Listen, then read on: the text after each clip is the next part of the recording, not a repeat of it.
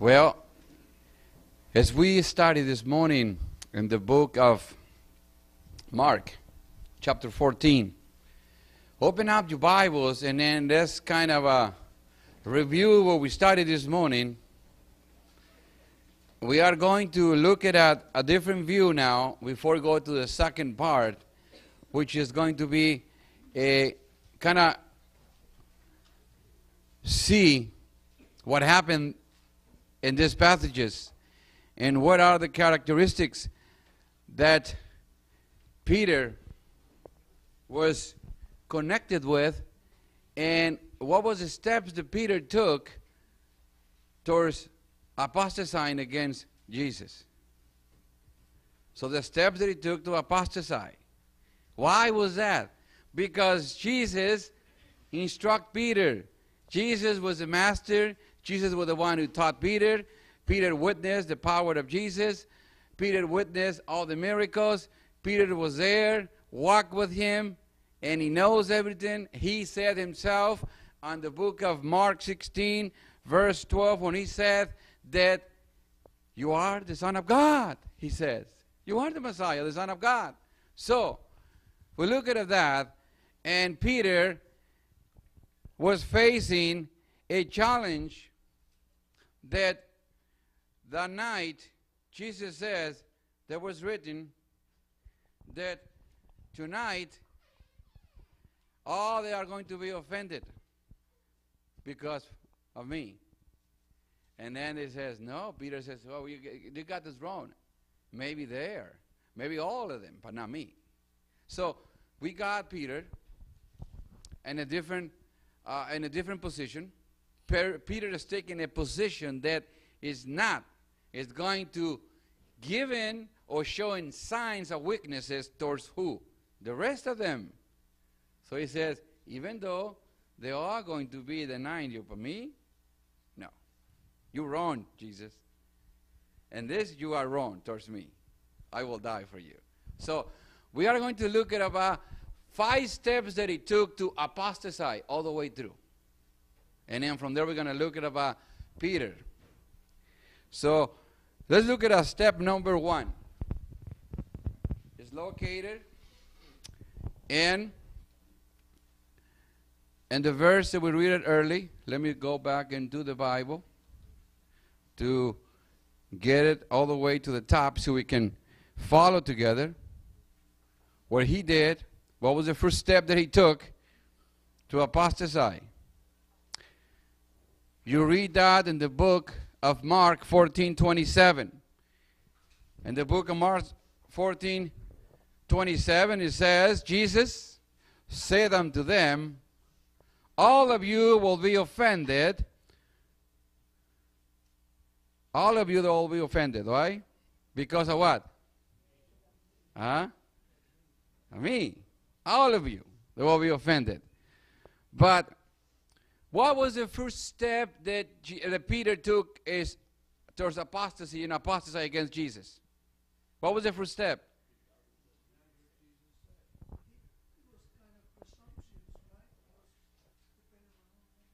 He was the first step that he took was pride. He was so full of pride. That's the first step you take to apostatize. In other words, I know it, and now, who do you think you are to tell me what to do, what is right, what is wrong? I know it. So the first step is a person to apostatize against what his belief is to be pride, ego, proudness in themselves. That's a, that's a no-no. That's the first step Peter took to apostatize. And to go again, start going to what I call backsliding towards what the teaching that he was taught by who? By Jesus. So the first step, he took that. The first step he took was to be pride, to be proud of himself, not to admit that he was a weak in the area because he was facing a kind of a, a critical moment because he was in front of the rest of the disciples. So everyone was every one of them was fighting for a position to be next to God. So Peter is not going to show any sign of weaknesses in front of others. So he want to be arrogant, proud. Pride took place of them, and consequently, that was the first step to apostatize against his Lord and Maker. So why But the Bible tells about that? When you read in the book of Proverbs, chapter 16, in this matter, where the Bible says, and again, to cover the whole point that I'm trying to make about pride, arrogance, and the ego, you can read it from 27 of Mark 14, 27, 29, 30, and 31. That's give you the whole picture. Okay? To get the whole picture about, uh, about this passage. And then in, in Proverbs 16 8, it says, Pride goes before what? Destru- destruction, right? Isn't it, isn't it how the Bible says that? Before what? Destruction. What does destruction means then? Huh? Like a demolition, isn't it? Knocked down. Pride, it says in Proverbs, pride goes before destruction, and it says what else? Hate the spirit before a fall. So Peter took the first step towards apostasy against his Lord and Savior. So let's look at then, as like I said, five points before going to the look at uh, the part two. This is kind of uh, going to, for those that were not here early this morning for the presentation, to get a glimpse what we talk about it, but in the same way, uncover to you more deeply. And when we read it this morning, I did not give you those details. Five points in there, they are besides what I presented to the message this morning. But before we continue, I just wanted to tell you that it's going to be five points, and then for that we're going to get to the part two. We are going to be looking at Peter assuming that he was with God, walking with God. He was under the impression that God was inside with him. That's why he acted the way he acted. So, God is not going to be inside someone is proud, arrogant. God is not going to be there. So, before we begin, let's, let's have a word of prayer by kneel together.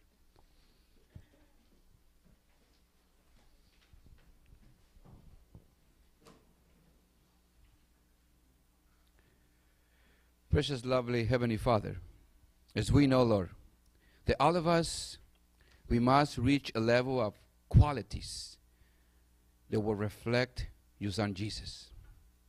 Not the world, not the ideas, the education, the system of this world, but the purity of the, of the gospel, the purity of the message, and the purity of the character of Jesus to be able to be developed among each one of us.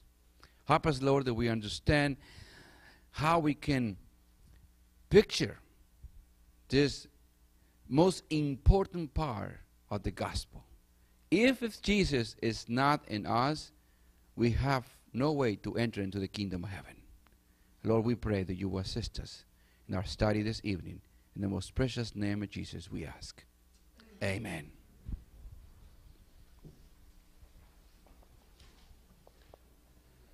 So, so we are looking then at the first step that he took. We're looking about the passages in Proverbs. And and in Matthew, to cover this point too as well, in Matthew 18, verse 3 says, And it said, Surely I said unto you, unless you are converted and become eh, like a little children, you will will what? Will by no means enter into the kingdom of heaven. Oh, so here is a passage that no one with an ego, with arrogant attitude, would enter into the kingdom of heaven. I don't care how you want to look at it, justify your behavior. You're not going to be entering into the kingdom of heaven. So, This is the first part that Peter took. Because he took himself to stand up with an arrogant attitude. What happened? He just ignored the warnings of God. The prophecy that Jesus prophesied to Peter said, Peter, tonight you are going to deny me.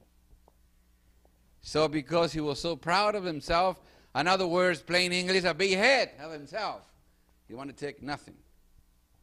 That he's inferior to the rest of the disciples, and in fact, even challenged Jesus to say, No, Lord, I will die for you.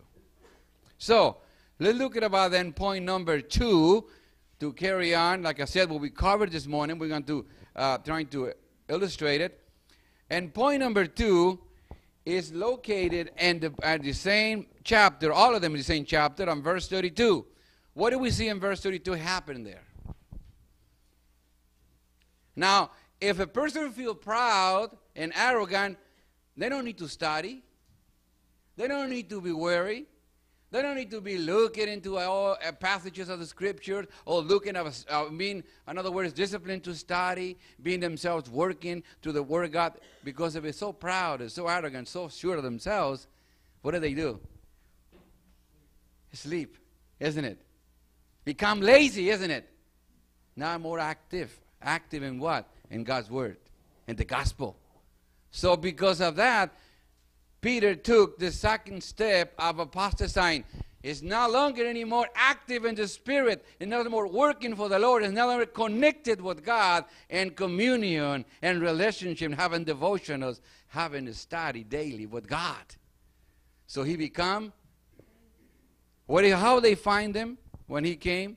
Then they came into the place which was what? name was Gethsemane. And how, when Jesus went in to pray, when he come back, find them doing what?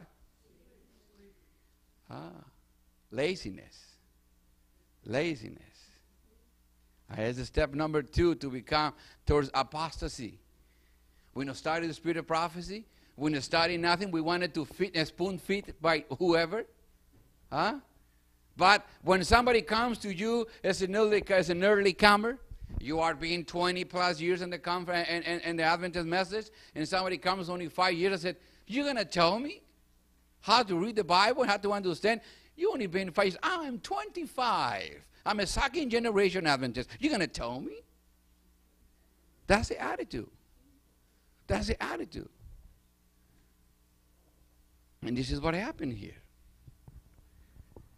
Jesus told Peter, and Peter says, Well, I'll be ready after my nap. That's what he's saying. Isn't that what he's saying in here? I'll be ready after my nap. I know uh, uh, it's going to happen. I'll be ready after, my nap. So that's what Peter says. So, this is all the steps that took. Okay, and I'm going to, like I said, I'll give you some scriptures. You read it, and I'm going to continue on because the point I wanted to get it to the second part because the time. And I wanted to make sure we cover that part. Now, this is the Peter, he's not converted. This is the Peter, he's not connected with God. This is the Peter that Jesus is not inside of Peter. The only thing that he has for the Lord, what did I say this morning? Big mouth. That's about it. That's about it. But he's under the impression, assuming that Jesus is inside. Because I, let's put it this way. Didn't he walk with Jesus? He did everything together with Jesus. So, because he never stopped and to look at himself. He never, he never stopped to do that. So therefore, he never find out in the early stage that the only thing that he has for God that was a big mouth, not the heart, not the mind for the Lord. A lot of us, we can be in the same position, friends. We know that the persecution is coming. We know that the decrees are coming, the enforcement of different decrees is going to be take place. But you know what? That is not going to save you. That is not going to get you ready. But having Jesus in your heart, mind, and soul, you'll be ready. You'll be ready. And Paul, Paul teach about that. We're going to look into some, some passages. Yes, it's important for us to be healthy because a healthy body function what? Huh? And a healthy mind, what? See things better. In other words, Satan wants you and I to lose our sensibility for holy things. We're not able to distinguish the clear word of God, the voice of God. So, polluted mind, contaminated body, we're not going to be able to function right. We're not going to be able to think right, to process things right. So, Peter, this time, is doing that. He's not aiming for a spiritual growth is only allowing the body, the mind, to be controlled by the flesh and not by the Spirit of God. So, consequently, he become lazy. You can read also the way down from verse uh, 34 down into 30, uh, 38. So all the way to 41, yes, true. We, we'll read into all that. What does the Bible says on, on Luke? We could read it early. Luke 21, verse 34. But take heed unto yourself, unless you what? Take heed unto yourselves, unless the things that's going to come, the worries of this world, they're going to take you overwhelmed. Your heart is going to be over overloaded with it, you're not going to be ready. Because when you read verse 35 and 36, he says, you need to make sure you are going to be among the, those are the ones that are going to be account to be worthy to be in the presence of God Almighty in the end of judgment. But he says the only way to do is by fasting and prayer. Tells you there. Now, what Peter is doing, that he's fasting and praying? What he's doing? Sleeping. But his mind is ready. And his mind is ready to take whatever challenges is coming, isn't it? Then a lot of us we do that.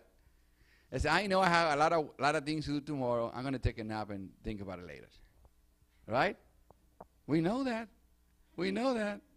A lot of people sometimes they are very tired. They get us getting into a car, they start driving, and they don't even go maybe an hour or two, and we start getting, you know, there's more dangers to do that than to, you know what? Pull over, rest properly, and start fresh. You, give, you do more witness for the Lord that way. You do more honor and glory to God by doing that than to acting like a, we act like a fool sometimes because we not follow the right protocols of the health laws of God. So, here we are again that the passage will tell you and in Hebrews chapter 2, verse 1 says, Therefore we must give the more earnest heed to the things that we have heard, lest we drift what? Away. Away. Peter is not giving heed for the message. Peter is not become lazy. So he took again the second step to apostatize against God. So he's going to take a step number three. By now, probably you're proud. You, what's going to happen?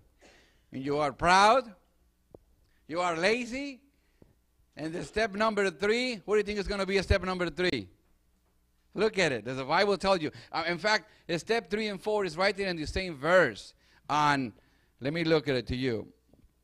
Uh, let's look at it. This is the same chapter in Matt, uh, Mark 14. Let's read on verse 54. What does in 54 tells you there? What the third step that he took? Huh? Let's, let's, let's read it. You know, and then you can see the key in there. It says, But Peter follow him is what? Is far off. So what the next third step that he took? What is it? No. No. Okay, I'm to put it in plain, simple English, okay? You're very strong man. I'm very weak man. And you challenge me in a fight. I become a coward. So, cowardness in this place. Jesus, Peter now become a coward. Again, proudness of himself, not preparing for the things that coming up that Jesus told him. He become lazy. And the third one, when the situations in front you engage or the situation, the situation is in front of you If you're not prepared for it, you do what? You start running, isn't it? Peter has now become a coward. Peter become took the third step towards apostasy. Not have no position, no relationship with God, no communion with the Lord. They have no discipline in this life. So consequently, he become coward. Is that going to be affecting us? Yes, indeed. We can become cowards ourselves too. So Peter now is taking the step. That's step number four. That's step number three, I'm sorry. Let's go to step number four. In those passages, you can read that to back it up. Of uh, the book of Mark uh, 8 38 and Revelations 21 8. He says, No cowards will enter into the kingdom of heaven. So think about it. You are going to retrieve or now face anything in the name of the Lord. The Lord says, There's no cowards will enter into the kingdom of heaven. Tells you there. And the passage in Revelation. Revelation. So, step number four, and the same passage of Mark 54. What else do you see Peter is doing? Mixing himself, huh? That's right. He doesn't identify himself, become a coward. He blends in, so he doesn't take a position for the Lord. He doesn't want nothing to do to be identified. Therefore, he says, No, I don't know this man. I don't even know the gospel that he's preaching of. I don't know what he's talking about. I am with you. That's what he's saying. So he went and he blends with the world. So, worldliness is what it took place. Step number four. If you don't take position seriously into your life for the faith and the convictions that you have into your heart, you become blended with the world. You have no position for the Lord. This is what happened to Peter. No, if he already took number four, it's going to be the, the final step he's going to take. And was reading it this morning, but I did not cover to you this way. Let's look at, and to back it up, this passage that I'm telling you, you can read in Proverbs 6, 27 to 29. Proverbs 20, uh, Proverbs 6, I'm sorry, 27 through 29, what I was saying. And 1 Corinthians 15 33. Now let's look at about a step number number 5. Now, and 70 and, and verse 71, uh, 70 to 71 and 72, this woman, the servant of the, of the high priest, he went around and says, Yes, you are. You are one of them because your speech, I agree. You look like them, you talk like them, you are one of them. And then he did the final. When he confronted them very clearly, yes, you are one of the Jesus. The final step is denial. It's how the apostasy will take you. He denied his master. Because you're going to be to a point in your life they're going to question your beliefs. What position are you taking in Christianity? And now Peter is facing that. What the mingle of the world, the, the people in the world, now is questioning him and asking, Yes, you are. You are like them. Because you speak. Let me say this to you. If I continue coming, I'm a people in the, in the world. I, I have no denomination or religion, right? And I start coming to a Sabbath church keeping church. And I start coming in. And my neighbors beginning to start seeing me that every Sabbath I'm leaving all dressed up and leaving. Right? And maybe one of those days they follow me. And they said, You a Sabbath keeper? Because we saw you in the church. And it's something that you connect you with them because on Saturday you get up early, dressed up, and you are going, and we saw you going, and there you are one of them. And I'm going to say, No, I am not. Sometimes, friends, we do something unconscious because the more we are walking with God And the more we do things according to the gospel, we don't even realize but we become more reflecting the gospel and the love of Jesus Christ within our lives. And Peter, they don't realize that. Even though he was have no connection with God, because he has something to make him distinguish that he and thee has something to do with the Messiah. He connected, but he rejected. He refused to be identified with the Messiah. Therefore, he says, I don't know this man. I don't even know what you're talking about. Leave me alone and start what? Cursing and swearing. That's what's going to happen, friends, in your life. Now, this is the part, the image of Peter when he was under the impression that Jesus was inside of him. But it was Jesus inside of Peter at this time. You think he's going to be cursing? Huh? Swearing? No, friends. Now, in your life and my life, every time we get out of line, who is inside of us then? Is that Jesus? No, friends. It's not Jesus.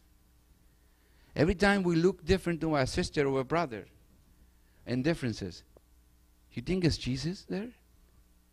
Every, every time I, I, I raise my voice to a brother, because the Bible says you must learn to love who? Your enemies. Every time I raise my voice to a person who come aggressively towards me, even an innocent, I, am an innocent, I don't know what you're talking about. And I respond defensively. I said, What are you talking about? Oh, you got me wrong. I had nothing to do with this affair.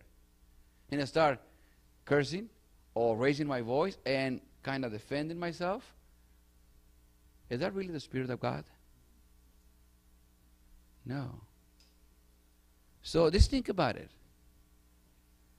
There are qualities, criteria that really re- reveal who is inside in your heart and in your mind and in your soul. At this time, Peter was under the impression he was wrong. He saw it. And it was never Jesus was inside. The only thing that he has for the Lord is a big mouth, and that's about it. But the heart, no. The soul, no. His thinking, no. Everything was somewhere else, but never with Jesus. He walked with Jesus. He walked. He talked. He spent time. He witnessed. And yet, never was a relationship with God. Because if there was a relationship with God, God will come in and take over inside, and Peter will be a different man. But you can see. So, what does that mean to be? It doesn't matter whether it's 20 or 40 years in the Adventist message. If you are not aiming for that conversion, to have a full, to surrender yourself to God, or let God have full control of your life, you will never be a person who developed Jesus within ourselves. We need to allow that to take place. You need to willing to say, Lord, whatever that I have that is blocking me or is not allowing you to come in in a full control of my life, take it. I rebuke it, Lord, in thy name, because I want you and me. Because if you and I we together, we can conquer the enemy of the souls, and we can be ready, Lord, to be with you and spend the rest of our life in eternity with him. But if it's not there, we continue have wrong habits, wrong uh, lifestyles, our own cravings that they know they're not good for us, and so many little details.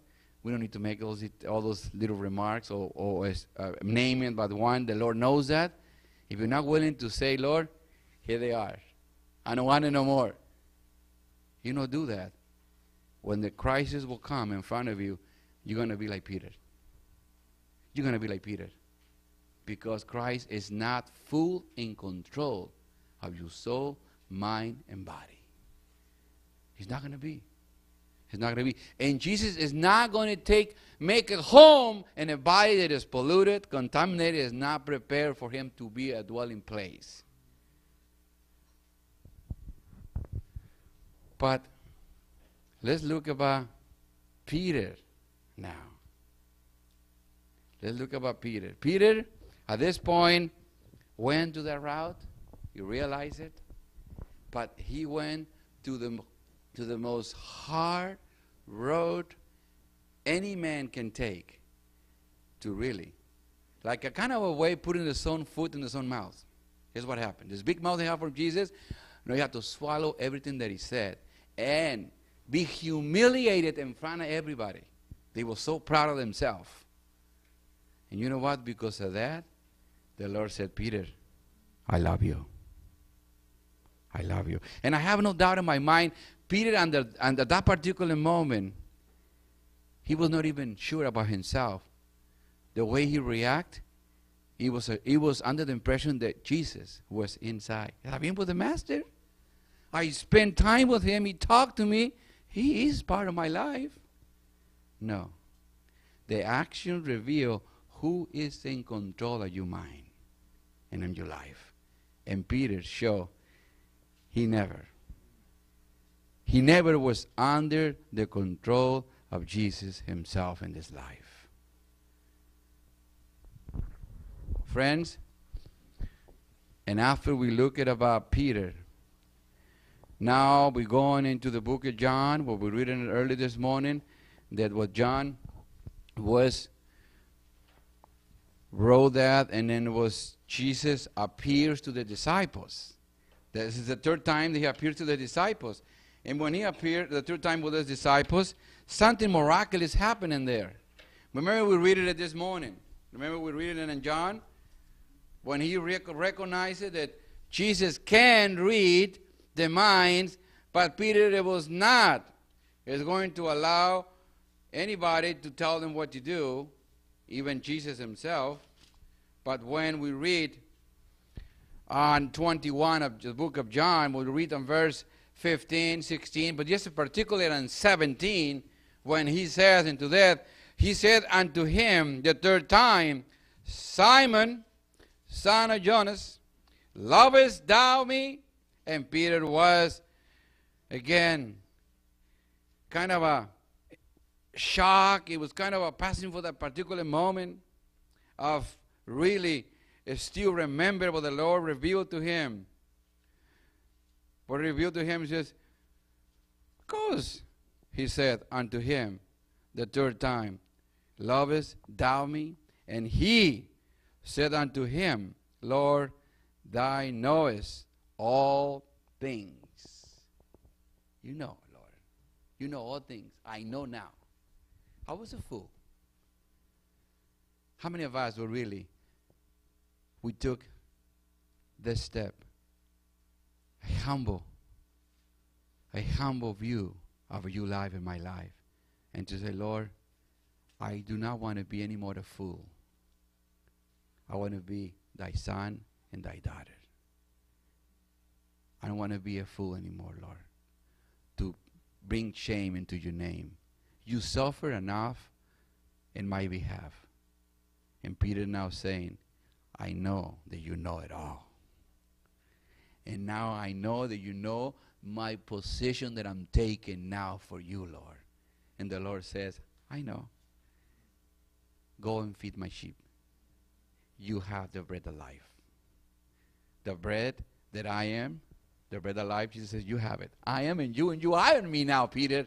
Go and teach them. Teach them all things. Do you know now? Baptize them and make disciples of all of them. And remember, Peter, I am with you always. He told them. And he said, Yes, Lord. Yes, Lord. So, let's look at about after Peter. Now, Stephen was murdered 34 after Christ, and Peter was preaching into 63 to 69 after Christ. So it was 30 years later, continue preaching. And he wrote about what he wrote to tell you and me the foolish things that he did and how that we know when we have Christ in us how to respond it and how to engage the situation. And this is Peter now, his writings, inspired by the Holy Spirit. First one, what is the opposite of uh, proudness? Huh? Humility, isn't it? Look at what Peter wrote and here. Let's let's go into it and let's read it about Look at it one by one. See, this is the thing, brothers. Like I said, we are need to know. We are going to know from now on who is in us. If God is in us, we are going to respond differently. Not anymore, like Saul's. Verse 8, and it says on 1 Peter chapter 5, verse 8, Be sober, be vigilant, because your adversary, the devil, is what? Running, lying. It says, walking about seeking whom he may what? Devour. Hmm? This is Peter now saying. What does that word? So mean obedience, discipline. We always do that. Not anymore. This is Peter. He's writing now saying. Now, why is telling that? Because Christ is in him now. Before cannot say that. He cannot. This is First Peter chapter 5. Hmm? Verse 8. And let's read, and you can read it the continue. You can read it in verse 9. You can read that in verse 9. But I wanted to give you that um, on the reaction, the way his recommendation now, now is what he's saying on point number one that he took of apostasy. He repented the apostasy against Jesus. He confessed it to God. Brothers and sisters, the only cure for apostasy is to repent and confess it and turn around towards God and not to the world no more. That's what he says here. Paul realized, Peter realized that. Paul realized that too. He turned around. Now, step number two. What was step number two they took to apostasy? Laziness, right? It was sleeping. Now read it. Now Peter wrote now, and it says in chapter, on First Peter chapter, uh, let me see. Let's see. Let's read uh, another one. Let's read um, Second Peter. Second Peter.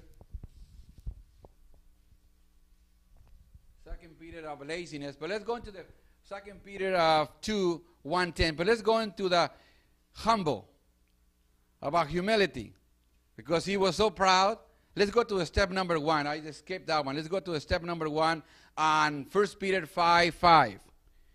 5 5 says, Likewise,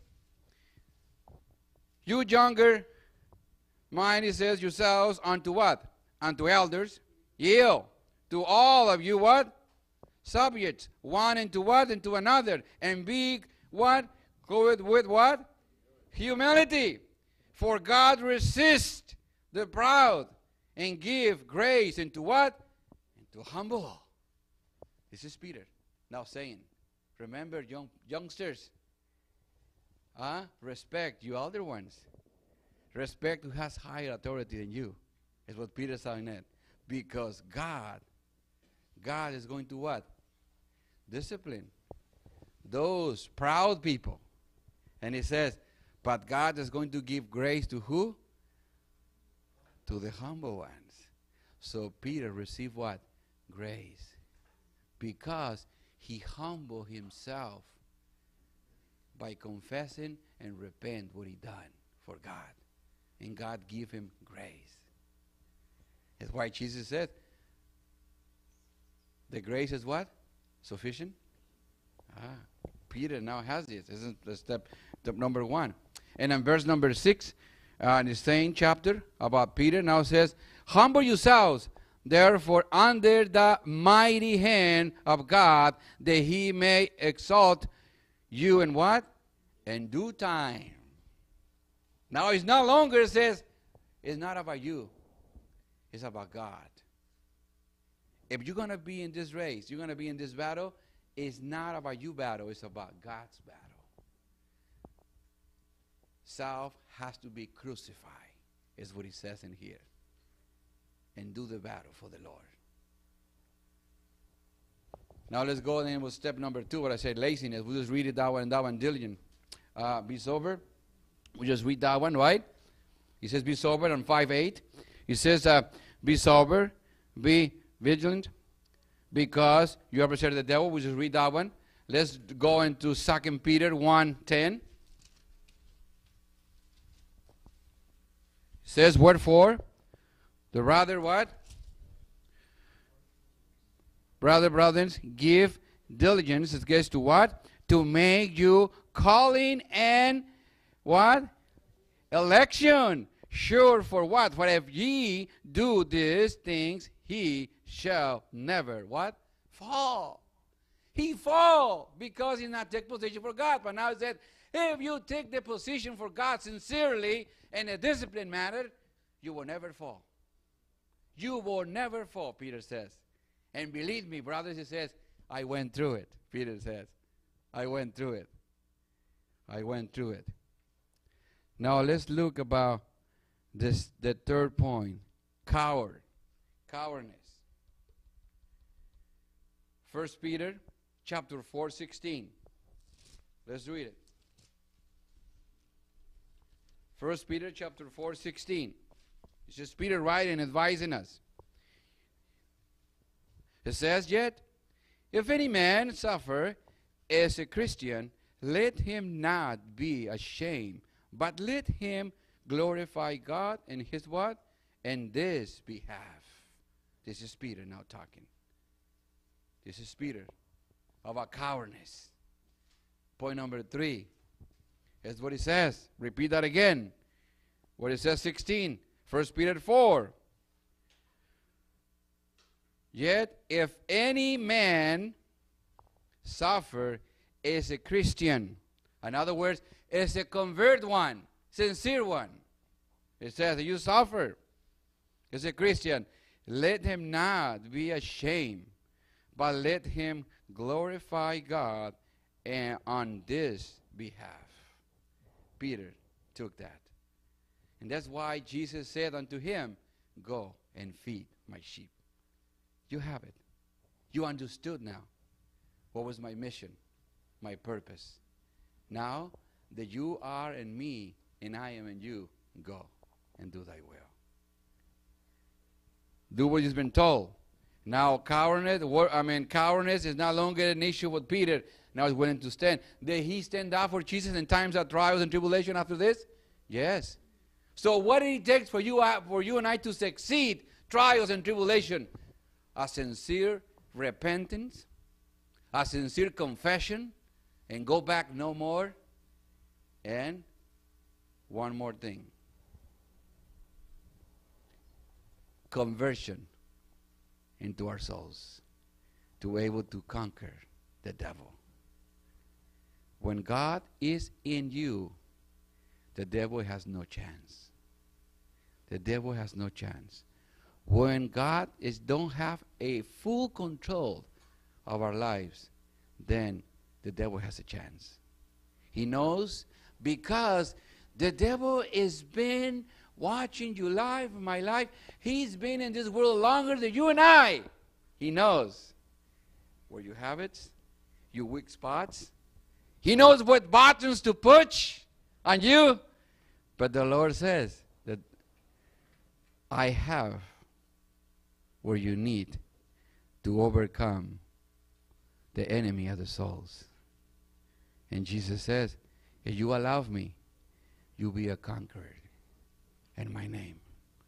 As I am, as I was here in this earth. I conquer him because my Father and I, we are one. And my will is not mine, it is my Father's will. And you allow me, you and I can be together.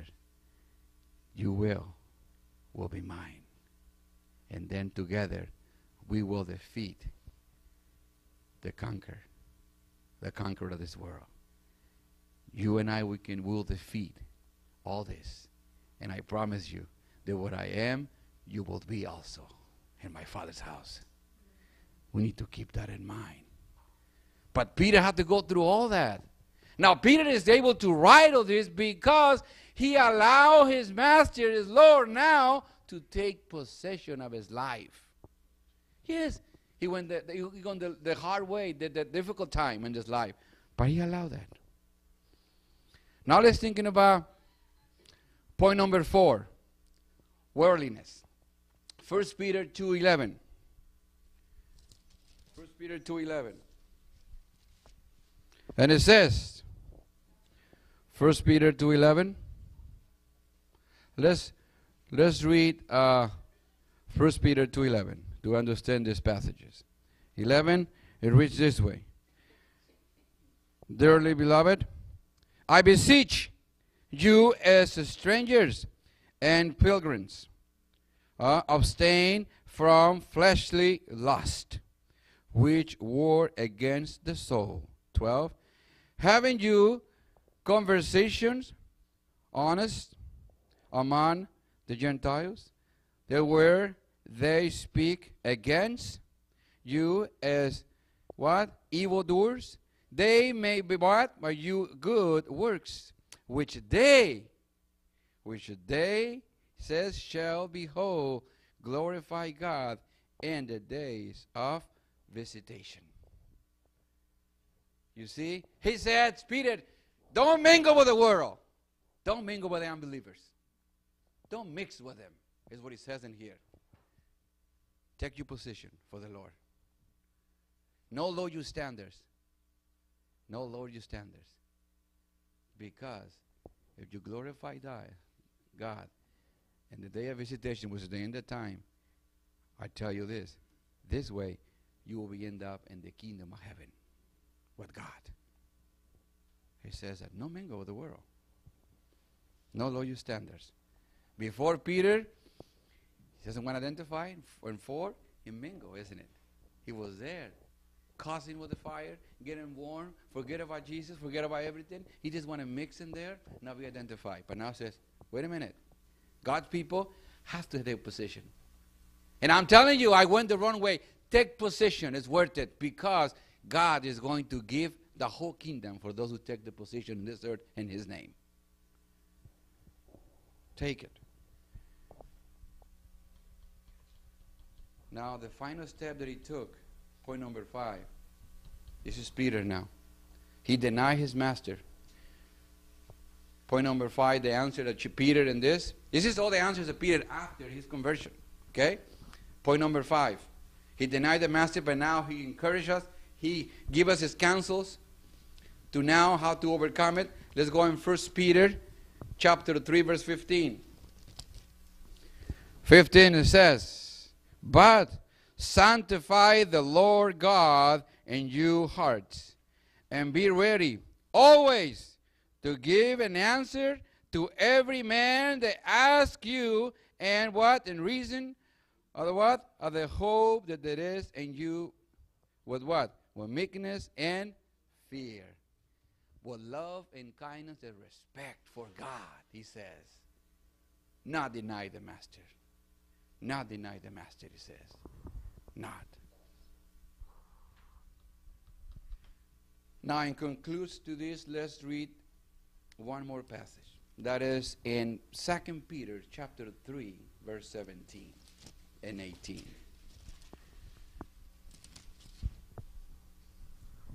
17 and 18 says, He therefore, beloved, seeing he know that the things before bore lest he also be what? Being led away with the error of the wicked fall from your own uh, stiffness.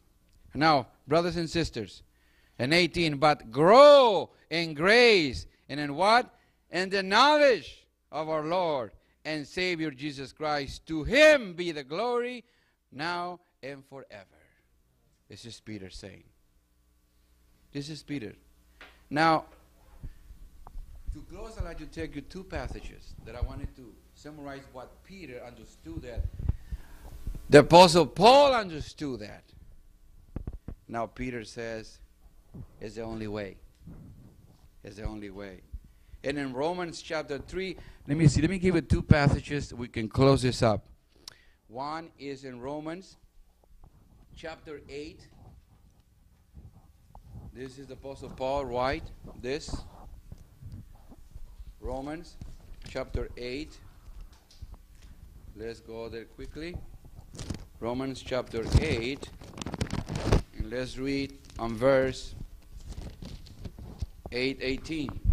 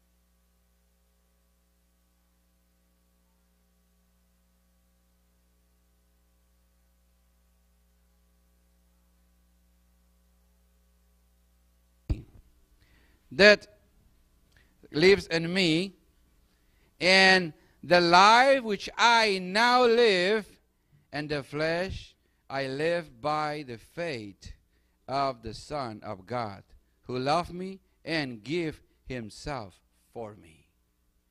I said this. Peter conquered because he humbled himself. He acknowledged that the step that he took to apostatize against Jesus is going to destroy him. It was no hope. It was no hope. So the cure for apostasy was confess, repent, and don't do that no more. And Peter took that position. He overcame it and he wrote that. Listen, all of you, what I took before knowing my Lord, that was me. It was not reflect nothing of God. I want you to get clear. There was I was in, I was I before. And when we don't have Christ into our lives, we take the same position as Peter before his conversion. We need to invite God to be in your life, in my life, to be able to conquer and overcome your defects, your problems, and to become victorious. You and I.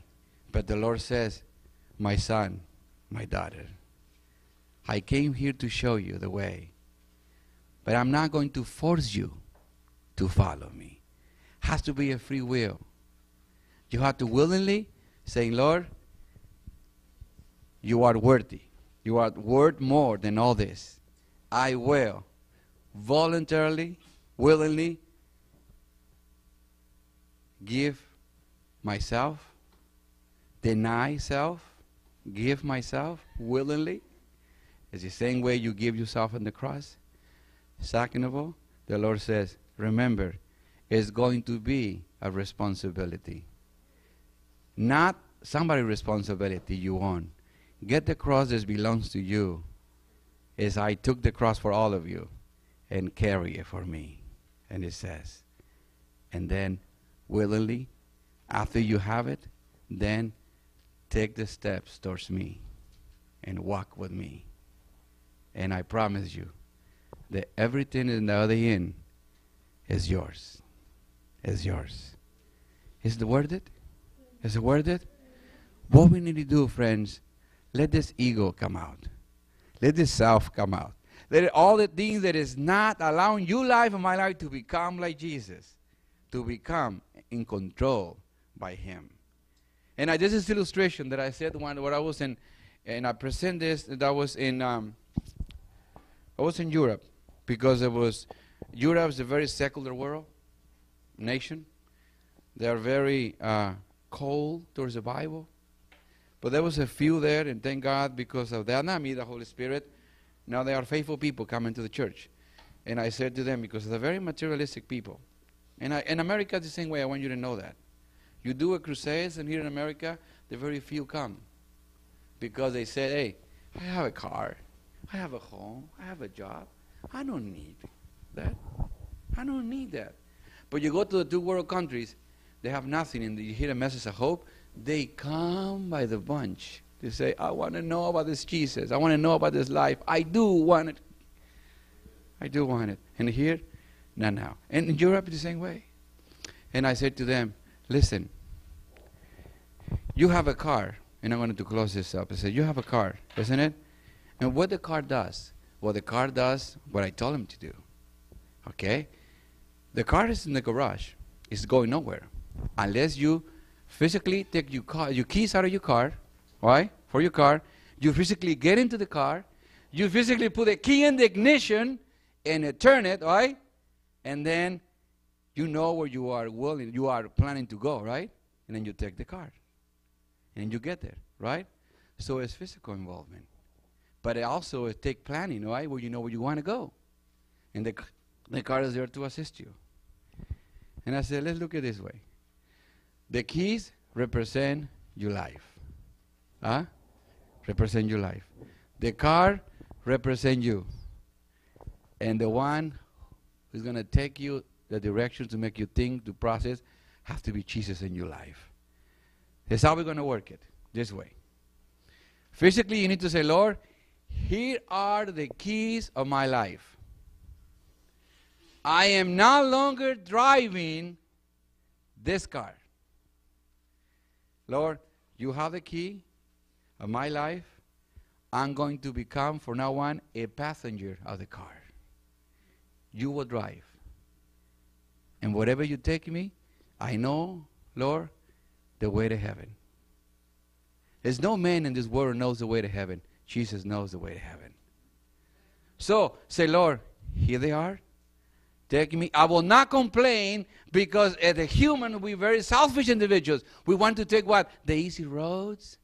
When you see uh, nice and it's smooth and concrete way, you see those holes and, and racks. I don't want to go there. My car is too nice to go through there. I better go this way. So we're always trying to find ourselves the easy way, isn't it? But Jesus, when you give the keys to Jesus, you say, Lord, and you take me over those bumpy roads, I will not say a thing. If you take me whatever, I know it. I have to have tolerance in my life, patience, and faith and trust in you, Lord. And then you give it to him. Because in the end, the Lord says, Here are they who have the patience of what? So who's going to be leading your life then? If you lead in your life, you end up going through destruction. But you allow Jesus and you say, Lord, take it. I'm not driving anymore my way. You're going to be the Lord and my Savior in my life. But you need to make that decision. Do you willing to make that decision? You willing to make that decision? I'd like you to bow down and pray. Let's just kneel together and pray.